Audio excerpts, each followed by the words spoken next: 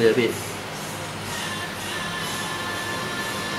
มีไฟสงสารเนี่ยก็บัตรนั่งอย่างพูช่องแปดอะขอขอรักฐานนะเป็นสัญญาลงไปนะตามวันนี้ดูดูพฤติกรรมมันพอดีว่าผมอยู่เสียงมาแล้วเนาะเดี๋ยวมันจะมีท่ามือว่าขอโทรศัพท์เนาะอันนี้ใครมาแค่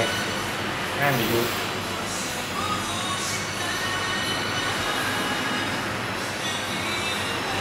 เนี่ยใส่หมวกคือมันแบบว่ามันมีซิปอืมอันนี้มันได้แอปเสียงมาพักนะเสียงเขาพี่เปล่าตัวอย่าง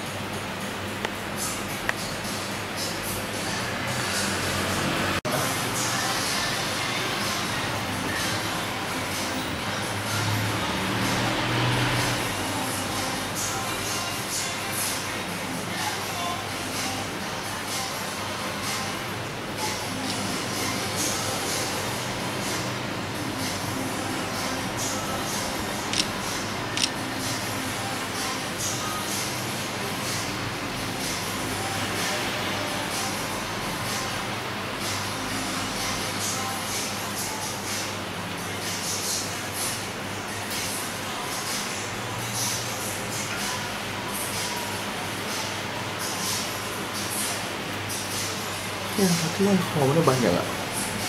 มันไปเลยเนาะ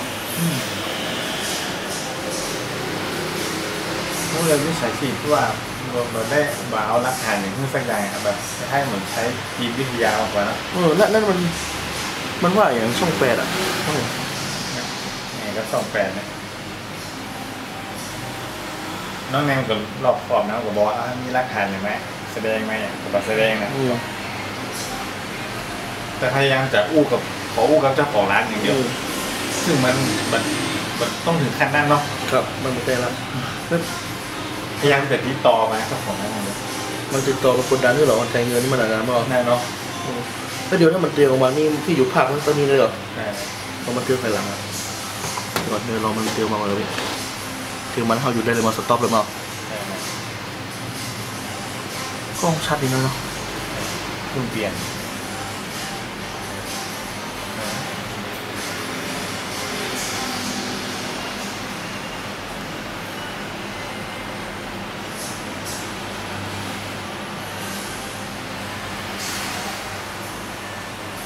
ไม่เลยหยุดจังหวะนึงมันชนฝรั่งอะ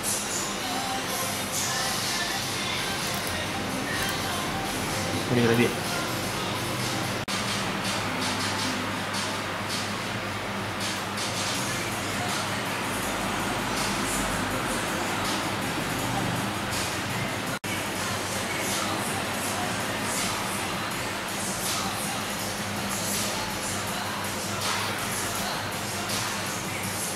นี่เนี่ยจะออกไปฮะสองไปนี่ยเนี่ยทำมือสามเลยทำสามวันจะมาให้เรา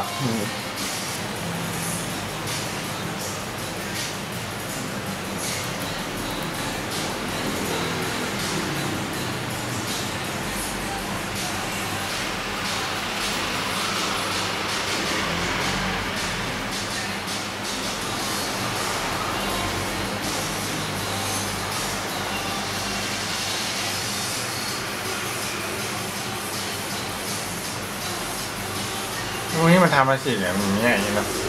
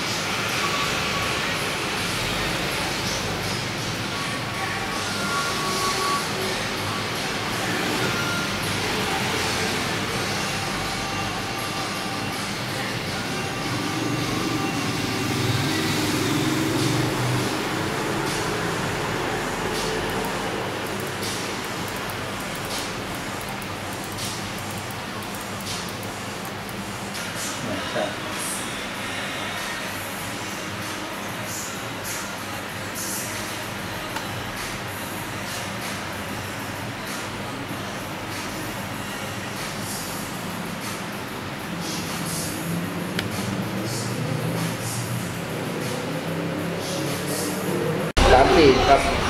ก็ตอนแรกเขาลังเลว่าจะเข้ามาหรือเปล่าเงี้ยค่ะแล้วแล้วพอดีตอนนั้นอยู่กันสองคนเป็นผู้หญิงด้วยกันทั้งสองคนเลยอะค่ะอยู่กับพี่ แล้วเขาก็เดินเข้ามา ตอนแรกเขาเดินเข้ามาแล้วเขาก็ถามหาผู้จัดการร้านเลยอะค่ะ เดินเข้ามาใกล้ ๆ แล้วก็ถามว่าคนไหนเป็นผู้จัดการร้านเงี้ยค่ะ แล้วพี่เขาก็บอกว่าผู้จัดการร้านไม่อยู่แล้วเขาก็เลยจะขอเบอร์ติดต่อ แล้วพี่เขาก็บอกว่าไม่มีเบอร์ติดต่อ แล้วเขาก็เลยขอเบอร์ร้าน แล้วพี่เขาก็บอกว่าไม่มีเบอร์ร้าน แล้วเขาก็บอกว่า อ้าว แล้วถ้าไม่มีเบอร์ร้านแบบนี้ เวลาลูกค้าสั่งของนี้ เขาจะสั่งยังไง เขาจะซื้อยังไง แล้วพี่เขาก็เลย พี่ผู้หญิงที่อยู่ด้วยกันก็เลยบอกว่า ก็ส่วนมากจะเป็นลูกค้าขาจรเนี้ยค่ะ เขาจะมาซื้อที่ร้าน แล้วเขาก็ถามว่า แล้วเจ้าของร้านจะกลับมาเมื่อไหร่ พี่ผู้หญิงก็เลยบอกว่าประมาณ4ี่ห้าวันเนี้ยค่ะ แล้วเขาก็บอกว่าจะกลับมาเมื่อไหร่เวลากี่โมง คือเหมือนเขาเจาะจงวัน แล้วก็เวลาที่เจ้าของร้านจะอยู่ร้านค่ะ เมาคือเขาเขาจะมาเอาเงินเลยอะค่ะ เขาบอกว่าเขาจะเอาเงินนะไปซื้อไอติมหรือขนมอะไรสักอย่างเนี้ยค่ะ ไปเลี้ยงเด็กแล้วเขาบอกว่าเดี๋ยวเขาจะพูดกับเจ้าของร้านเองเนี้ยค่ะ คือไม่ คือที่จริงถ้าสมมติว่าเขาต้องการเงินบริจาคจริง ๆ คือเขาน่าจะขอแบบขอดีๆแล้วก็บอกพวกหนูก็ได้เพราะว่าพวกหนูก็คือเป็นพนักงานอยู่ที่ร้านเนี่ยค่ะ แต่ว่าอันนี้เขาคือแบบเจาะเจาะจงจะคุยกับเจ้าของร้านอย่างเดียวเลยอะค่ะ ว่าเดี๋ยวพี่พูดเองเนี่ยค่ะเขาก็เลยถามหาหลักฐานว่า เออไหนขอดูใบหน่อยเงี้ยค่ะ แล้วเขาก็เลยบอกว่า นี่พี่เป็นนักข่าวนะเงี้ยค่ะ เหมือนเอานักข่าว ว่าตัวเองเป็นนักข่าวแล้วเอามาขู่เขาว่าเขาเป็นนักข่าวค่ะ แล้วตรงเสื้อเขาจะมีโลโก้ช่องแปดติดอะค่ะเขาบอกว่านี่พี่เป็นนักข่าวช่องแปดนะ ไม่เคยดูช่องแปดกันเหรอ เคยดูไหมอย่างเงี้ยค่ะ แล้วพี่ผู้หญิงเขาก็เลยบอกว่าเคยดูถามว่าอ้าวเคยดูแล้วไม่เคยเห็นหน้าพี่หรอ ไม่คุ้นหน้าพี่ผ่านหน้ากล้องทีวีบ้างหรออย่างเงี้ยค่ะ แล้วพี่ผู้หญิงเขาก็เลยบอกว่าไม่เคย แล้วเขาก็ว่า งั้นสามวันนะ แล้วเหมือนเสียงเขาขู่แล้วเขาก็ทำมือแบบชี้นู่นชี้นี่แล้วเขาก็แบบชี้หน้าชี้ทำมืออย่างเงี้ยค่ะว่าสามวันนะสามวันพี่จะมาอย่างเงี้ยค่ะ แล้วเขาก็เดินออกไปเลย แล้วก็แล้วก็อะพี่ผู้หญิงคนนี้ก็เลยลองไปถามโรงแรมข้างๆเนี่ยค่ะว่ามีแบบมีคนประมาณนี้เข้ามาไหมอะค่ะ แล้วตอนนั้นพี่ผู้หญิงเขาก็บอกว่ามี เพราะว่าตอนนั้นเจ้าของร้านไม่อยู่แล้วพี่ผู้หญิงเขาอยู่ที่เคาน์เตอร์คนเดียวเนี่ยค่ะเขาเข้ามาแล้วเขาก็บอกว่าเขามากับแบบแก๊งบิ๊กไบค์อะค่ะ แก๊งบิ๊กไบค์จะนำเงินไปซื้อขนมเลี้ยงเด็ก แล้วตอนแรกพี่ผู้หญิงเขาก็บอกว่าเจ้าของร้านไม่อยู่เขาไม่มีสิทธิ์ที่จะนำเงินไปให้ใครอย่างเงี้ยค่ะ แล้วก็พี่ผู้หญิงที่อยู่โรงแรมเขาก็บอกว่าพี่ผู้ชายคนนั้นน่ะเข้ามาพูดดีแล้วก็บอกว่า ไม่มีเงินงั้น 20-30 บาทก็ได้อย่างเงี้ยค่ะ แล้วพี่เขาก็เลยเอาเงินส่วนตัวของพี่เขาอะให้ให้ผู้ชายคนนั้นไปเพื่อตัดปัญหาอย่างเงี้ยค่ะ แล้วผู้ชายคนนั้นก็เอาแบบสมุดบันทึกสีน้ำเงินนะคะ ให้พี่เขาแบบเซ็นชื่อแค่นั้นนะคะ แล้วก็ไม่มีหลักฐานอะไรเลยค่ะ